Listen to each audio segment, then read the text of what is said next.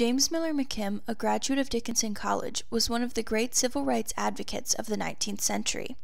He grew up in rural Pennsylvania at a time when the state was gradually abolishing slavery within its own borders. But in the early 1830s, as a young Presbyterian minister, McKim became a committed abolitionist and impassioned opponent of Southern slavery, after reading fiery pamphlets by journalist William Lloyd Garrison. McKim encountered Garrison's radical views while visiting his barber, a local black leader, who helped tutor him in the anti slavery cause. McKim soon joined the Garrisonian abolitionist movement, becoming close friends with figures such as Quaker feminist Lucretia Mott and with Theodore Weld, the organizer of a controversial band of abolitionist orators who traveled the North speaking out against slavery.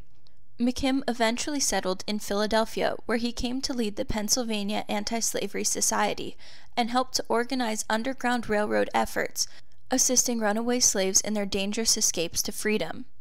McKim was at the center of the most famous escape of the era, the secret journey of Henry Box Brown from Richmond to Philadelphia in 1849, while Brown was hidden for over 24 hours inside of a shipping crate.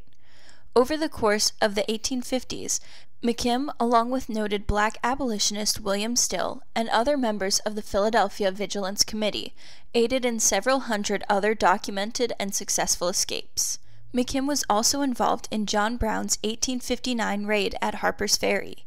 He did not participate directly in Brown's brief war against slaveholders, but McKim openly praised the abolitionist zealot and traveled with his wife Mary after Brown's execution to help recover his body for a burial. McKim also seemed to welcome the outbreak of the Civil War in 1861. He reasoned that a virtuous war was better than a corrupt peace, and worked from the very beginning of the conflict to ensure that it was about emancipation of the slaves and promoting equal opportunities for the freed people. McKim took personal interest in recruiting black soldiers for the Union Army and in coordinating relief efforts for liberated families.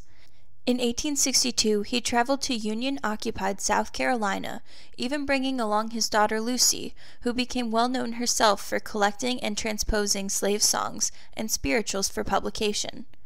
During the final years of the war, McKim became a leading abolitionist supporter of President Lincoln and lobbied Congress successfully for the creation of a new federal agency for freed people. Following the Civil War, McKim also helped lead the effort to desegregate Philadelphia streetcars and to launch a leading progressive periodical, The Nation, which is still being published today. James Miller McKim died in 1874 after spending decades advocating for the human and civil rights of African Americans.